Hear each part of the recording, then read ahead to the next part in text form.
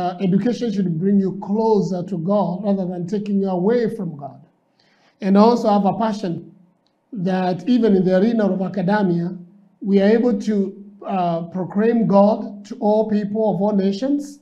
And the word of God, definitely, uh, the word of God is for all people, Amina. both uh, educated and uneducated. Uh, the word of God has an imprint in each and every individual in the life that we live in.